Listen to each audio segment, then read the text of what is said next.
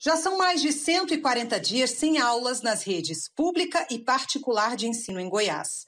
Por causa da pandemia da Covid-19, desde o mês de março, as escolas estão com as portas fechadas para os alunos. O ensino é oferecido só online.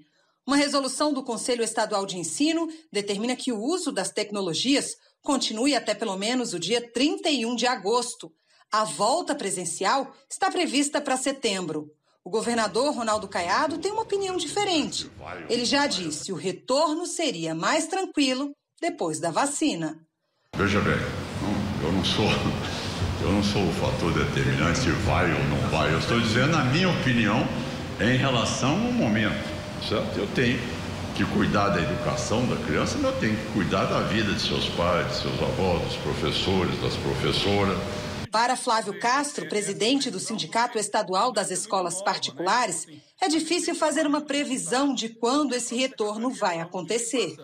Nós fizemos pesquisas na grande maioria das escolas com pais. Isso está bem dividido. Tem pais que têm é, a intenção de é, verificar a estrutura da escola para ver se tem a condição de deixar, tem outros que não, que não querem deixar. Então há uma divisão de, de opiniões. Dizer com precisão quando pode voltar, eu acho que não compete a gente, né? A gente precisa do apoio, uma união entre a saúde e a educação. Com o número de casos aumentando a cada dia em Goiás, a volta às aulas é um assunto que está sempre em discussão por parte da Secretaria Estadual de Educação. No dia 15 de agosto está prevista uma reunião do COI, o Centro de Operações de Emergências em Saúde Pública para o novo coronavírus.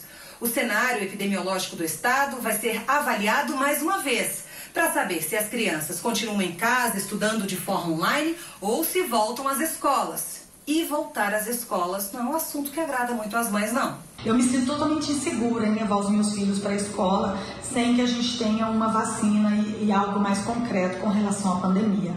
Eu acho muito perigoso, eu acho muita irresponsabilidade das pessoas em retomar as atividades escolares, onde os nossos filhos e nossos, os alunos ficaram totalmente expostos, tendo contato com terceiros e correndo risco de ser contaminados. Nós entendemos que agora ainda não é o momento de retornar, né?